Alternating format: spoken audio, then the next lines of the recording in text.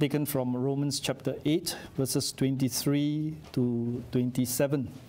In verse 23, the Apostle Paul speaks about the redemption of the body. He says, And not only they, but ourselves also, which have the first fruits of the Spirit, even we ourselves groan within ourselves, waiting for the adoption to wit, the redemption of our bodies.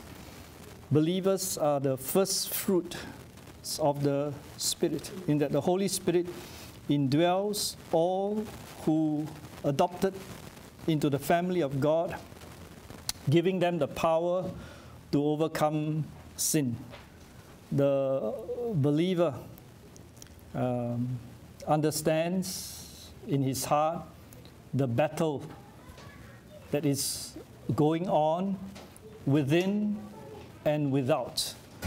Within, he sees uh, himself um, that there is uh,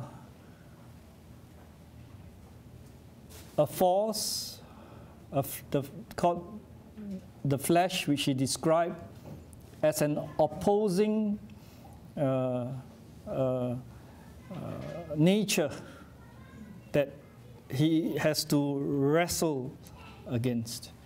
And you know, if you are in a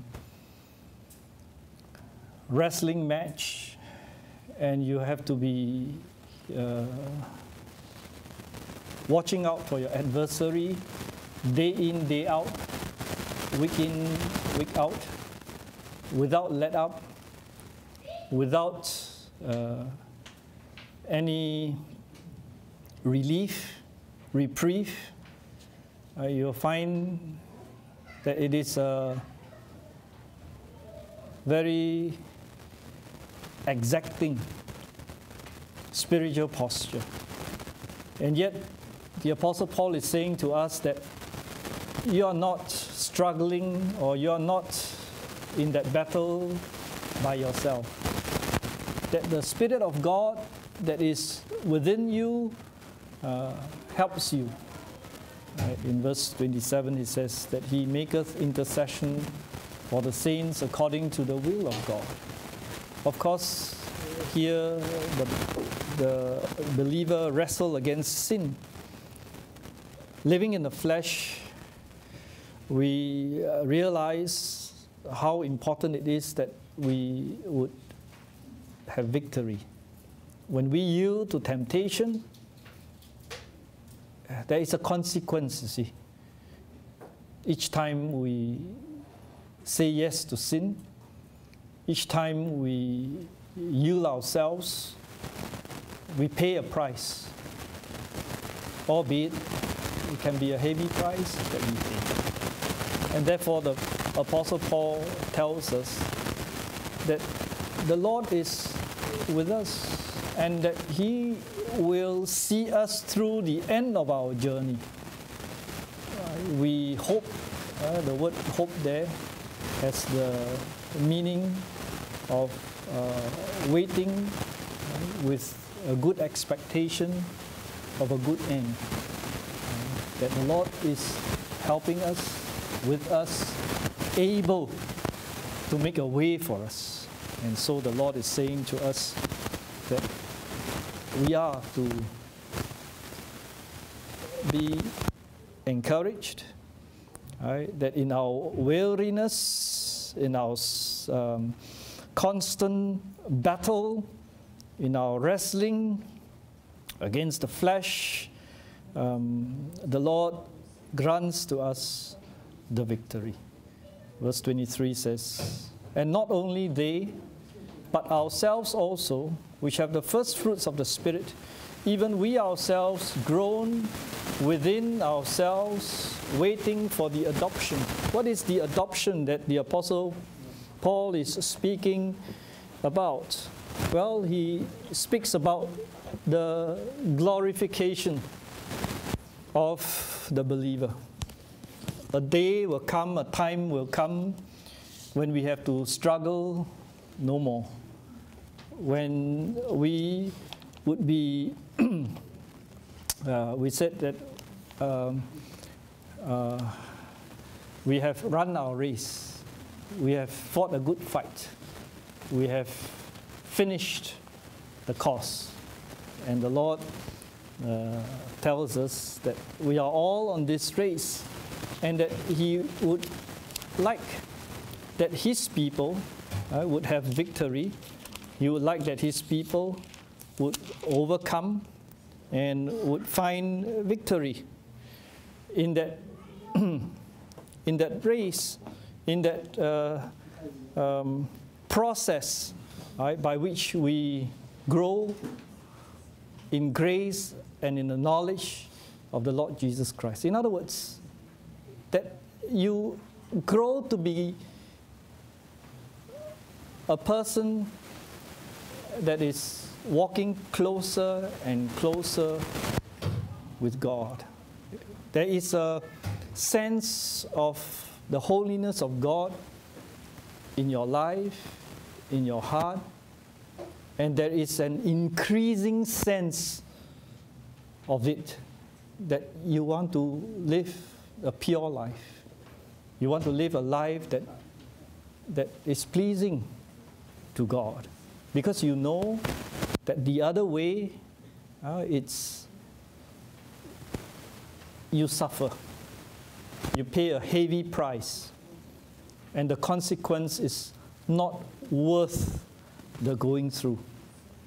And so, before we arrive at verse 27, uh, verse 26 tells us, Likewise, the Spirit also helpeth our infirmities, for we know not what we should pray for as we ought. But the Spirit maketh intercession for us with groaning which cannot be uttered. Well, the Lord says to us that indeed the Lord knows right, that we are in that, that uh, state, uh, uh, living in a world that is cursed. Right? The world is cursed. Uh, verse 23 of our text, remember we studied last week. For we know that the whole creation groaneth and travaileth in pain together until now. Sin and its misery, sin and its suffering, uh, sin and its debaucheries. Uh, sin uh, brings about terrible consequences for mankind. For we know, Paul says, that the whole creation groaneth. In other words, it, it is trying to find a way out. Is there a way out? Well, the redemption that God gives us is the way out. Through the Spirit of God, He enables you to overcome sin in your life and to bear fruit in your life. And you need to know what is uh, sin and what is the will of God so that you may do the things that is pleasing in the sight of God. and so the believers a time will come when we would receive the redemption of our body. In other words, when the Lord redeem our body, uh, we will be given a new glorified body, no more aches and pains, no more struggles right, with physical infirmity. Right? Uh, we uh, don't need to bear right, the pain of a, a physical injury. Right? When the Lord would redeem, redeem our body. And a time will come, a time is coming when we will be given a new and glorified body. And so this is our hope, this is our redemption. And this is what the Lord wants us to see that there is a future to our suffering. You know, you can suffer, but there is no uh, end to it. No. The Lord tells us that this pain, this suffering in this world that we go through, will come to an end. In heaven, there is no pain, no suffering, no death.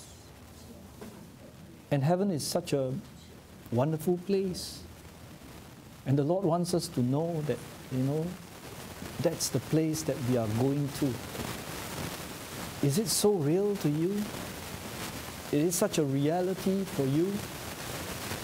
Well, Paul tells us that as when we, in our struggle, right, in our wrestling against sin, uh, find ourselves weary, find ourselves uh, tired, find ourselves strengthless, uh, if that's the word there, then you need to look at your the hope of what God will do for you, the redemption of your body. So Jesus says, Let not your heart be troubled. Ye believe in God, believe also in me. In my Father's house are many mansions. If you were not so, I would have told you. I go to prepare a place for you, and if I go and prepare a place for you, I will come again and receive un- you unto myself, that where I am, there ye may be also. And so the believer has the hope, right? the hope of redemption. And we are saved by the hope, you know, because as you struggle against sin, right, and you fail, and you come to the Lord and say, Lord, please forgive me. Please be merciful to me. Give me the strength not to do this again. Help me to change.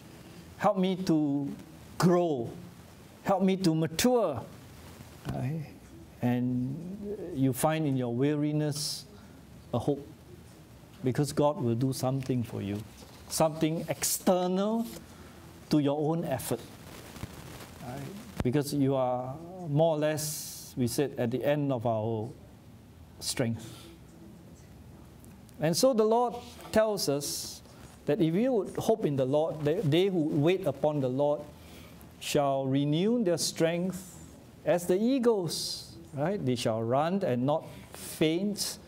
Uh, they shall uh, walk and not be weary. How so? Well, the spiritual strength comes from God. God endows you with the strength. The Spirit of God uh, gives you that strength whereby you overcome. So the Apostle Paul describes it as the Christian's hope. We are saved by hope.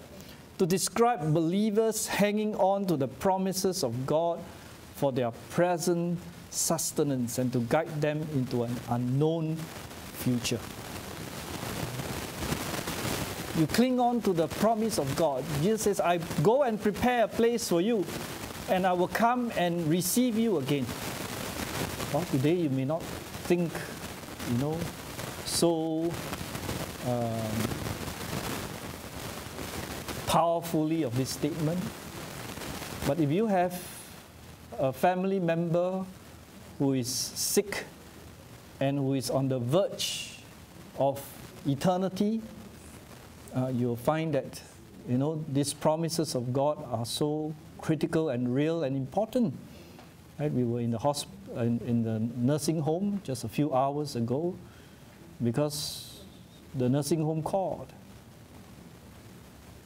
And the message is that his blood pressure has and the breath is becoming weaker. Would he be able to pull through the morning? That was last night. And so we prayed. Can we see him again? Nighttime cannot go, cannot see. But if he departs, then we'll be so sad because you would be alone when he would depart. And yet we couldn't see him. And so we prayed, and the Lord sustained him. And so this morning, uh, late in the morning, or in the af- early afternoon, we were able to say hello. And he was able to open his eyes and look at us and to provide us uh, a, a response. And we are comforted. We are comforted to know that, you know, we are not struggling alone in the sense that, you know, we are not, God is with us to help us, His very presence to, uh, to be with us. These things, these promises of God becomes real to us. Right? That our departed loved one or our departing loved one, uh, we, we are not going to uh, uh, they are not going to leave us permanently. But when you go to heaven, they will be there to receive you. They will be there to meet you. Right? And God wants us to cling on to these promises to know that uh, this is true.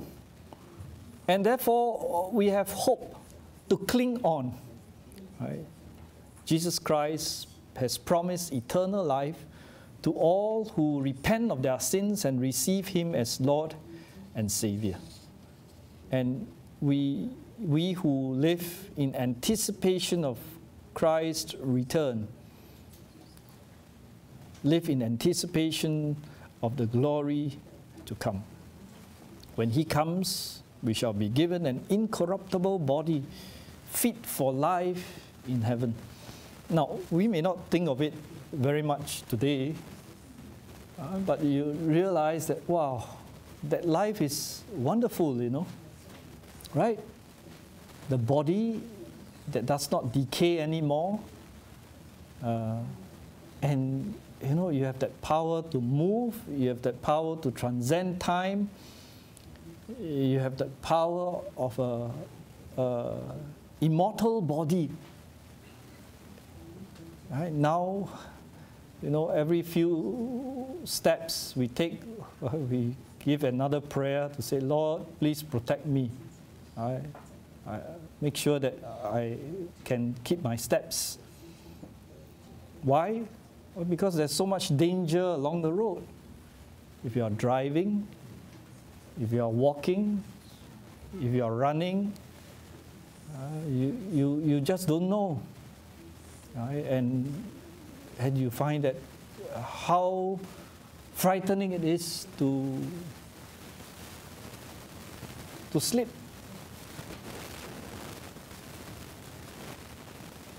But you know that the Lord protects us.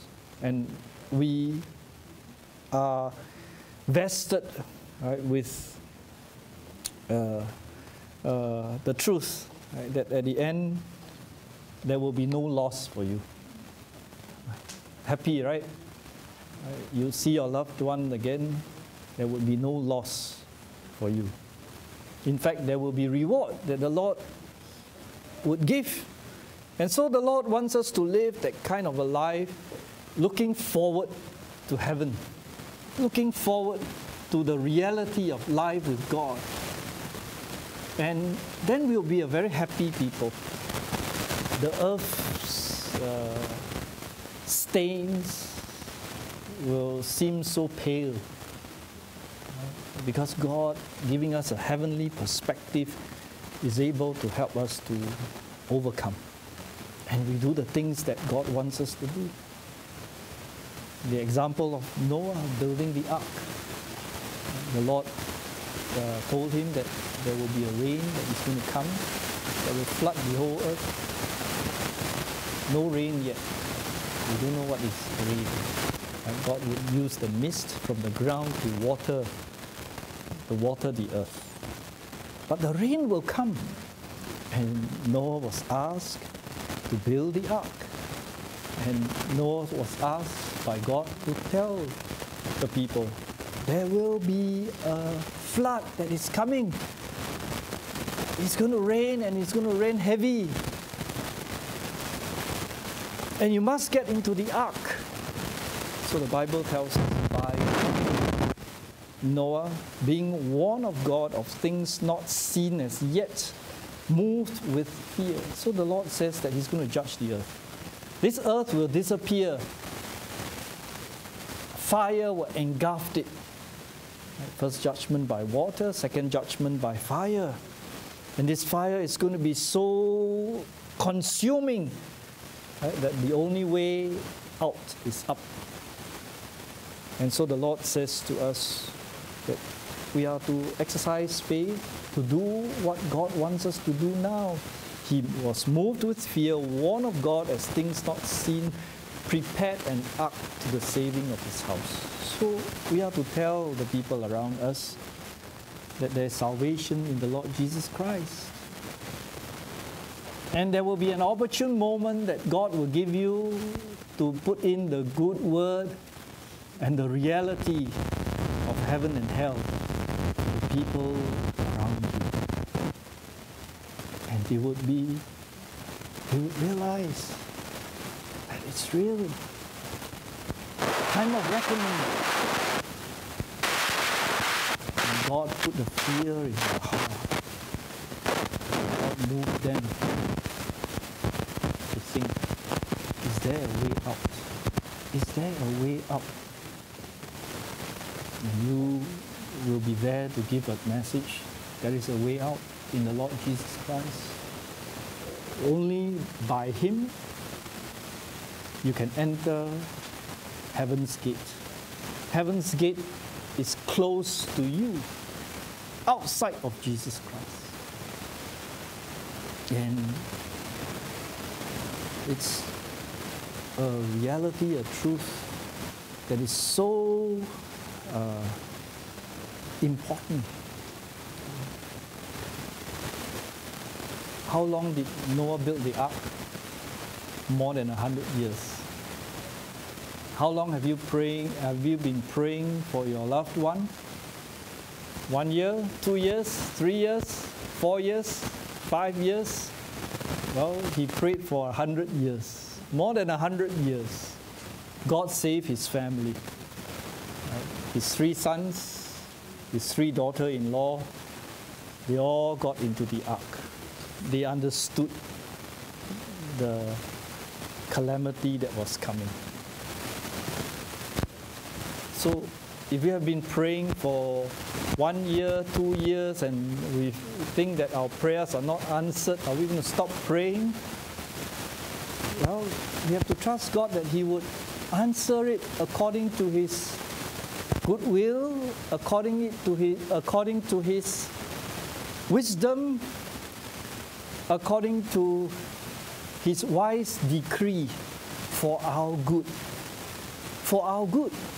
In other words, God won't do you harm. You know, He will answer your prayer to your good, to your benefit, to your well being. And so, do we give up because we don't see any results in our prayer? Well, that's what we speak about, isn't it?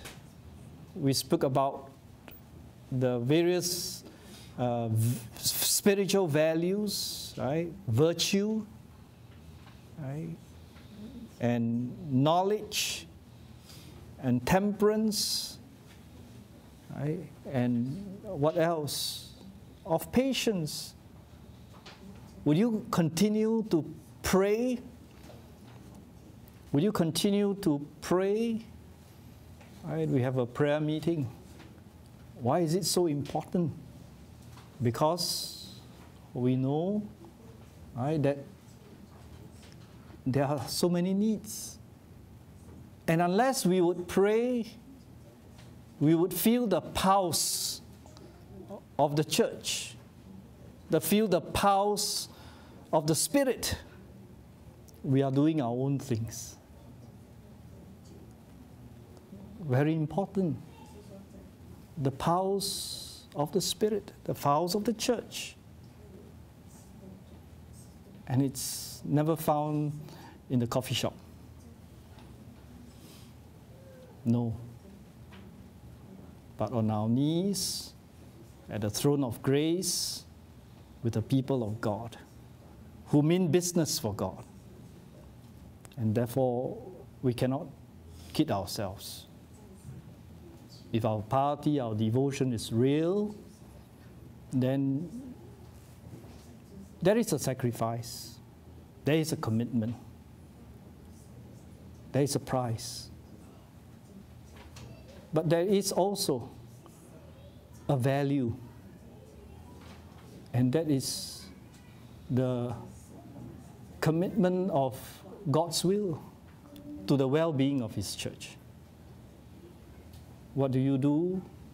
Well, the Lord says, Be careful for nothing, but in everything by prayer and supplication with thanksgiving, let your requests be made known unto God. And the peace of God, which passes all understanding, will keep your hearts and minds. Through the Lord Jesus Christ, God's peace will come to you. Right? You have a worry, but you have also a specific prayer concerning your worry. If you have committed it to the Lord, then what happens? The Lord says that His peace will come upon you. His peace, His peace means that you no longer struggle anymore, you know. You know that God will take care. How He takes care, you may not know, but you know that He will take care. The Spirit of God will give you that confidence, that assurance in your heart. That's the peace of God that passes all understanding. And therefore, we can hope. And therefore, we have strength right, to uh, trust God. We have strength to not give up.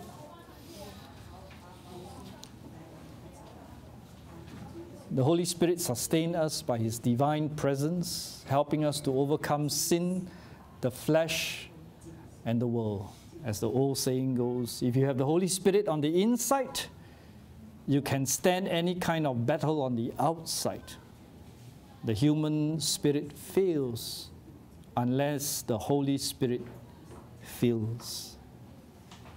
If you are not filled with the Spirit of God, no wonder we are unable to do the will of God.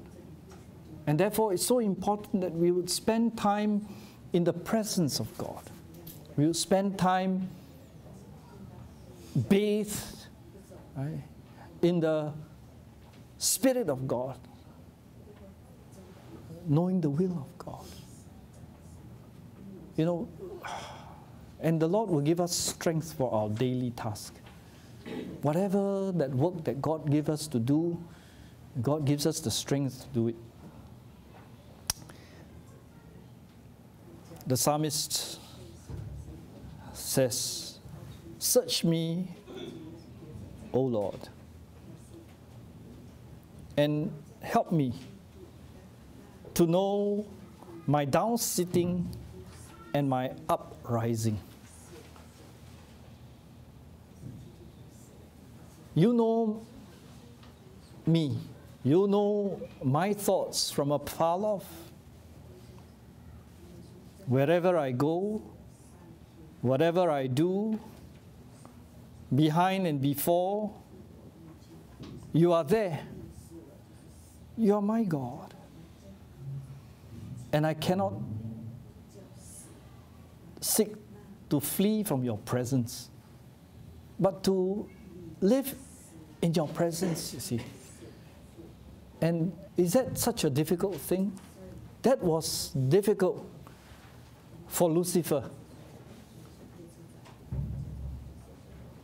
Lucifer decided that he will not subsist under God. That was his downfall. But the Lord says to us that when we subsist with the Lord, guiding us, teaching us, helping us, is there any lack that we have? No lack. God provides, God takes care. And there is great relief, there's great unity, there's great uh, strength that God gives us. Search me, O God, and know my heart. Try me and know my thoughts, and see if there be any wicked way in me. Lead me in the way everlasting. May God help us. We realize how uh, infirm, weak we are in our own minds, and help us, Lord, to renew our mind so that our mind will be uh, strengthened, strengthened to know the will of God, and given the strength to do the will of God, to hope in God when we don't see anything. Right? When Noah built the ark, no rain yet. No rain yet. But a day will come when all this will become reality. When the eternity begins. When we take our last breath. Ah. May the Lord help us, strengthen us, bless us with His presence to cheer, to guide, to encourage. May the Lord help us. Let us pray. Father, we pray for Thy mercy. Be with us to strengthen our hearts. Save us by Thy hope, the hope of the glory to come, the hope of eternity, the hope of uh, being freed from the bondage of sin.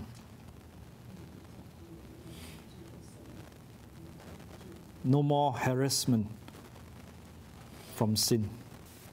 Father, strengthen thy people and grant us thy Holy Spirit to help us this new week to overcome, that we may live uh, according to thy will for thy own honor and glory.